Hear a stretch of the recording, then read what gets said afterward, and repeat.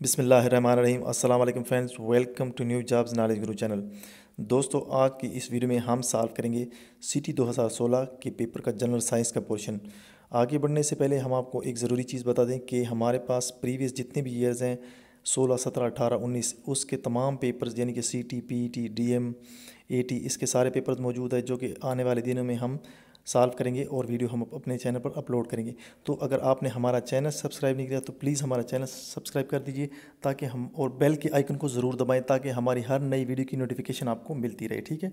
तो चलिए स्टार्ट करते हैं आज के पेपर को। पहला क्वेश्चन है कि which one of the following is different from others इनमें से कौन सी चीज़ दूसरों से मुख्तलिफ़ है? तो नीचे पाँच ऑप्शन की बने तो इसका करेक्ट ऑप्शन है ऑप्शन नंबर ई ठीक है? मछली जो है वो डिफरेंट है, क्योंकि मछली पानी में रहती है और बाकी जो आपको कीड़े मकोड़े नज़र आ रहे हैं, ये जो हैं, ये खुश्की में रहने वाले जानवर हैं, ठीक है?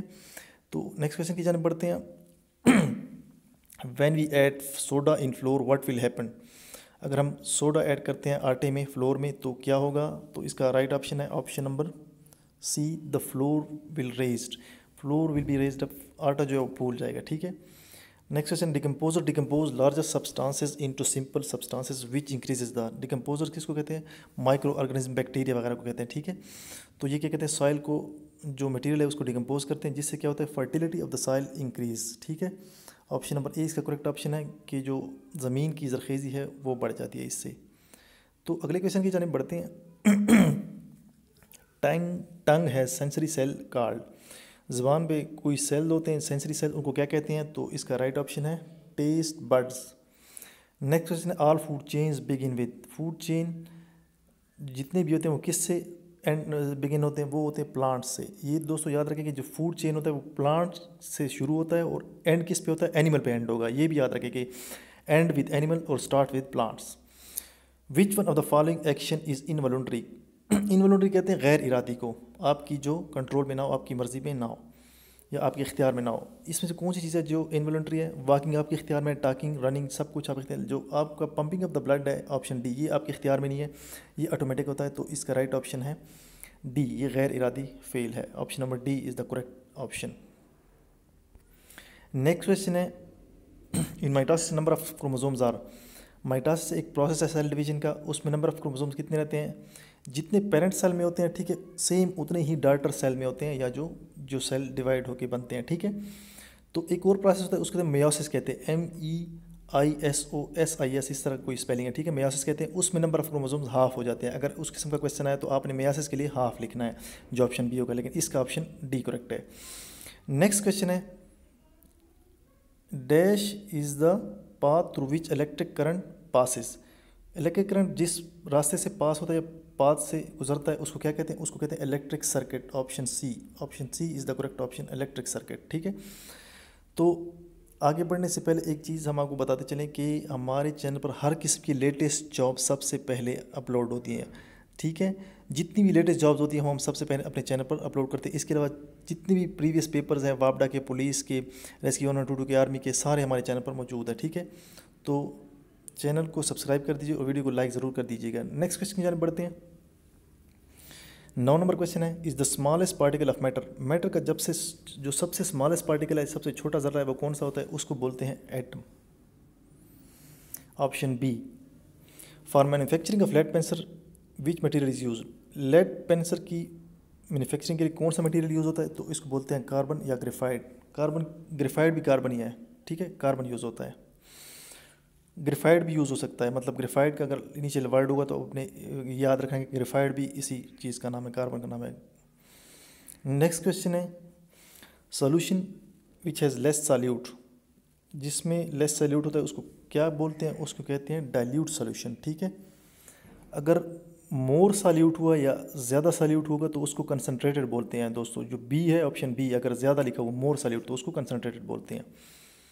नेक्स्ट क्वेश्चन है ठीक है? ये आपको क्वेश्चन है the type of machine that works with other mechanical parts in order to alter the relation between the speed of a driving mechanism दोस्तों, ये गियर की बात कर रहे हैं। मतलब एक गियर जो होता है, वो मैकेनिकल पार्ट होता है, जिससे स्पीड चेंज हो जाती है। मतलब आप गियर अगर चेंज करते हैं तो आपकी स्पीड बढ़ती या कम होती है। जो दो मैकेनिकल पार्ट होते हैं, उसकी जो एक पार्ट होता है, उसकी स्पीड ज़्यादा होगी, दूसरे की कम हो जाएगी, या पहले की ज़्यादा होगी, दूसरे की कम हो जाएगी मतलब चेंज हो जाती है। तो उस वो होती है गेयर नीचे ऑप्शन इसके गिवन है नेक्स्ट पेज पे, क्योंकि ये ऑप्शन काफ़ी बड़े हैं तो पिक्चर में यहाँ पे आपको अलहदा से हम दिखा देते हैं, ठीक है? ये हैं ऑप्शन ठीक है? ट्वेल्व नंबर के। तो ये ऑप्शन ए करेक्ट है, ये एक्सल में गेयर है।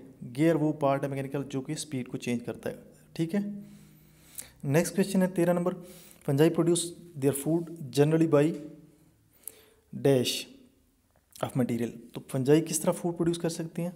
ये होता है डिकम्पोजिशन के ज़रिए। फंजाई बैक्टीरिया एल्जाई ये सारी जो है सॉरी एल्जाई नहीं होगा फंजाई और बैक्टीरिया या माइक्रो ऑर्गेनिज्म ये डिकम्पोजिशन के ज़रिए फ़ूड बनाते हैं, ठीक है? Next question friction force operates in direction frictional force की डायरेक्शन किस सिमत में होती है? तो इसका right option opposite to the applied force ये याद रखें कि फ्रिक्शनल फोर्स होगा opposite to the applied force next question है, पंद्रह number. Strength of magnetic field is always greatest at strength of magnetic field magnetic field की जो strength होगी वो कहाँ पे ज़्यादा होगी? पोल्स ऑफ़ द मैग्नेट ठीक है? By super cooling carbon dioxide can be sublimed into जो कार्बन डाइऑक्साइड है, ठीक है, उसको अगर हम सुपर कूल करते हैं, ठीक है तो उसको कहते हैं ड्राई आइस ये याद रखें ड्राई आइस क्या है? सॉलिड कार्बन डाइऑक्साइड को कहते हैं ड्राई आइस ठीक है? सॉलिड कार्बन डाइऑक्साइड और सबलाइम क्या है? सबलाइम कहते हैं अगर गैस अगर कोई सॉलिड डायरेक्टली जो है वेपर में कन्वर्ट हो मतलब भाप में कन्वर्ट हो, बीच में माया लिक्विड का स्टेट ना आए तो इसको कहते हैं सब्लिमेशन प्रोसेस ठीक है? ये ड्राई आइस कार्बन डाइऑक्साइड को बोलते हैं। सेवनटीन नंबर क्वेश्चन है। The simplest form of machine is ठीक है? सत्रह नंबर जो है क्वेश्चन ये क्या है? ये है व्हील व्हील जो है simplest simplest form of machine है। अठारह नंबर क्वेश्चन है the best medium for transmittance of natural sound wave is जो बेस्ट मीडियम है, जिसके, जिसमें साउंड वेव सबसे अच्छी ट्रैवल करती है या स्पीड उसकी अच्छी होती है तो उस वो है, यहाँ पे है आयरन ठीक है? एक चीज़ याद रखें कि साउंड वेव्स जो है सबसे ज़्यादा तेज़ जो होती है सॉलिड्स में ट्रैवल करती है, उसके बाद लिक्विड्स में, उसके बाद जो है एयर या गैसेस में ट्रैवल करती है, ठीक है? तो यहाँ पे आयरन जो है वो सॉलिड है, इसमें सबसे ज़्यादा तेज़ी से वो ट्रैवल करेगी या ट्रांसमिट होगी, उसके बाद वाटर उसके बाद एयर होगी, ठीक है? पहले सॉलिड फिर लिक्विड फिर गैसेज में ट्रेवल तेज़ करती है। उन्नीस नंबर क्वेश्चन है which one of the following produces harmful gases इसमें से कौन सी चीज़ जो है वो कार्बन डाइऑक्साइड या कार्बन मोनोऑक्साइड सल्फ़र डाइऑक्साइड इस किस्म की गैसेस जो कि हार्मफुल होती हैं, वो प्रोड्यूस करती हैं? तो नीचे आपके पास तीन आपको नज़र आ रहे हैं तस्वीरें, ठीक है? ये आपको नज़र आ रही हैं पिक्चर्स ठीक है? जैसे कि देख सकते हैं, ठीक है? और इसकी, इस पिक्चर में आपको सारी नज़र आ रही हैं, ठीक है? तो इसमें कौन सी चीज़ जो है वो हार्मफुल है, वो है ऑप्शन नंबर डी जैसे कि नज़र आ रहा है option D is the correct जैसे कार्स हैं, इसका धुआँ जो है वो ख़तरनाक है, ठीक है?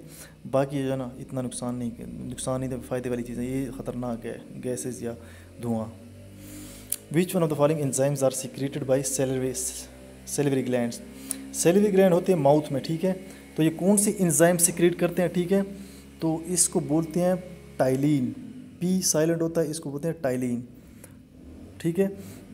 नेक्स्ट क्वेश्चन है in animal cells centrioles are involved in the centrioles किस चीज़ में इन्वॉल्व होते हैं? तो इसका राइट ऑप्शन है ऑप्शन सी सेल डिवीज़न में, ठीक है? अगला क्वेश्चन है how many semi circular canals are present in the inner ear अंदरूनी जो कान है, उसमें कितने सेमी सर्कुलर केनाल्स होते हैं? उसमें होते हैं तीन सेमी सर्कुलर सर्कुलर केनाल्स ठीक है? तेईस नंबर क्वेश्चन है light has effect on photosynthesis light अगर ज़्यादा होगी तो फोटोसिंथेसिस का प्रोसेस होगा तेज़, ठीक है? प्लांट्स में फोटोसिंथेसिस का प्रोसेस होता है डायरेक्ट इफ़ेक्ट होता है, ठीक है? लाइट का। और लाइट कम होगी तो फोटोसिंथेसिस भी कम होगा। इसके बाद है diarrhoea is a condition diarrhoea कहते हैं पेजेस को या जो आपको जैसे कि पेट ख़राब हो जाता है, ठीक है? या लूज मोशन को बोलते हैं। इसमें क्या होता है?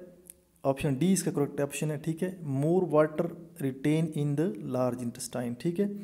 नेक्स्ट क्वेश्चन है इन सेक्सुअल रिप्रोडक्शन ठीक है, चार ऑप्शन गिवन है।